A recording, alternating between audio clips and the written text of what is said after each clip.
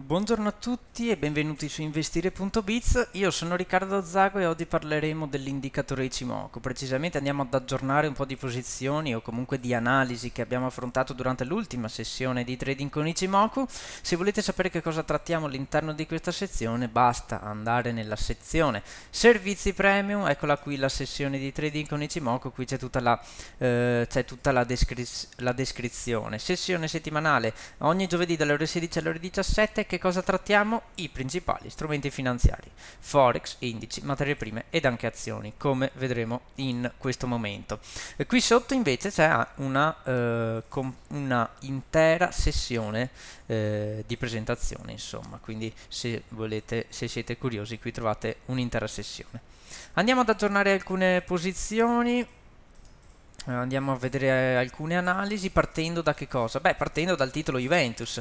L'avevamo trattato ampiamente durante l'ultima sessione, che cosa avevo detto? Attenzione perché qui il prezzo è tirato troppo, ne stavamo parlando proprio giovedì 20 settembre un bellissimo short si poteva provare qui eh, che cosa avevo detto? Se il prezzo avesse chiuso con una doji o con una candela di indecisione avrei, chiuso, avrei aperto una posizione a ribasso. Questo non è accaduto eh, però avevo detto anche un'altra cosa. Se il prezzo eh, chiudeva al di sotto del minimo della candela del, di martedì 19 settembre cioè 1,58,2 eh, avrei aperto una posizione short. Questo non è accaduto e quindi non sono in posizione. Penso però che il prezzo possa scendere almeno fino in area 1,38 eh, sì, proprio qui 1,38 e quindi valuterò eh, nuovi posizionamenti a ribasso eh, una volta che il prezzo raggiungerà la zona di 1,6. Vedremo quali saranno i livelli precisi alla sessione di eh, giovedì di trading con Ichimoku, ma vi, vi do un'anticipazione. 1,6 lo segno, eccolo qui,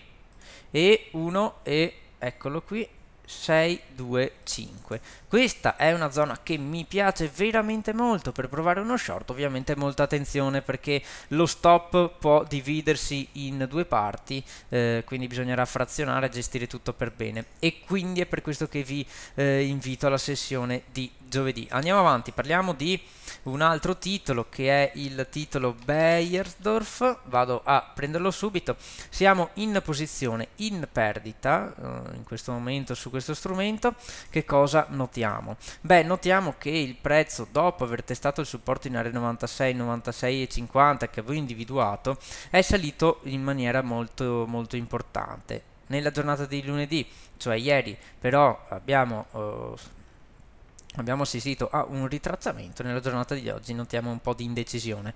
Ovviamente, eh, come sapete, io nei titoli non vado a... Eh, non vado a mettere la linea Tenkan nella linea Kijun eh, quindi stiamo a vedere come si comporterà è vero che ci arrivano le prime avvisaglie eh, ribassiste però insomma io mantengo questa posizione al rialzo magari solamente alleggerendo un po' eh, l'esposizione Andiamo avanti e parliamo di eh, EuroCAD. Andiamo a vedere EuroCAD, eccolo qui. Apriamo subito il grafico, qui sì invece uso tutte le linee eh, di Ichimoku, Tenkan, Kijun, Kikou, SSA SSB, eccolo qui. Che cosa avevo detto? Avevo detto attenzione, ci sono delle possibili occasioni rialziste ma anche ribassiste, quindi stiamo flat e attendiamo eh, delle rotture per posizionarci al rialzo. Queste rotture sono avvenute, il livello di 1.5193 è stato rotto, ma non è questa una candela che poi mi porta ad eh, aprire posizione a rialzo, la candela di lunedì. Guardate come sì, c'è stata una spinta a rialzo, ma poi subito recuperata. Ebbene, quindi non opero su eh, questo strumento anche perché se andiamo a vedere il time frame settimanale notiamo come qui piuttosto attenderei un, una possibilità short che long. Guardate che lunga SSB piatta che abbiamo in area 1.53 più in alto abbiamo la Kijun in area 1.53.60 prime avvisaglie ribassiste con questa Kumo e la Kiko è al di sotto del prezzo quindi molta attenzione. Qui troviamo un livello molto importante quello di 1.53 si potrebbe valutare addirittura uno short eh, con operatività su time frame settimanale. Ovviamente cambierebbero totalmente eh, i ragionamenti per quanto riguarda il money management, quindi eh, valuterò nei prossimi giorni se operare o no al ribasso, magari farò anche un bell'articolo. Andiamo avanti e parliamo del nostro indice, del FTSE MIB.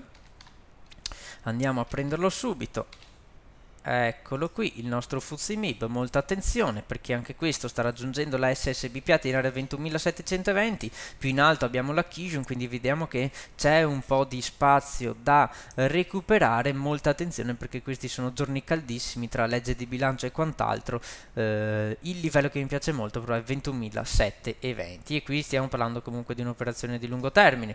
Invece per quanto riguarda il time frame giornaliero, io sono già in posizione dalla zona di 20.000 500, zona molto importante in primis perché troviamo due target dell'onda che ho tracciato da, con questi punti, venerdì 31 agosto, il minimo del il minimo di venerdì 31 agosto ed il minimo del 12 di settembre.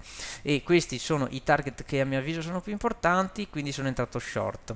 Attenzione perché oggi sta salendo molto io chiuderò il tutto se il prezzo chiuderà al di sopra di questo livello qui. Quindi sto parlando del livello di 21.000 551 ok? Questo è il mio ah no scusate 20.651 e quindi per ora rimango in posizione anche se sto soffrendo lievemente. E invece mantengo le posizioni anche su Audi USD eccolo qui Audi USD siamo in posizione ormai da tempo. Avevo detto attenzione si può valutare di alleggerire oppure di lasciar correre fino eh, a 0,7330 interessante la candela che è andata a crearsi venerdì 21 settembre che si è creata su questa trend line di lungo termine che sono andato a trattare di lungo termine insomma eh, di medio termine perché è stata eh, disegnata dai massimi di fine gennaio 2018 e guardate come ha testato bene la trend line, si è creata una bella doji e quindi questi sono tutti fattori interessanti per provare un ribasso, per provare uno short, ecco, quindi mantengo le mie posizioni ribassiste. Ci saranno molte altre analisi alla sessione di giovedì, se volete iscrivervi passate per il calendario eventi di investire.biz, webinar e corsi e cliccate su iscriviti qui, trading con Ichimoku. Per qualsiasi informazione non esitate a scrivere una mail a info-investire.biz, questa sessione si può avere in maniera gratuita, quindi eh, scrivetemi per eh, capire come fare. Con questo ho concluso, vi ringrazio, vi saluto e auguro una buona giornata e un buon trading a tutti.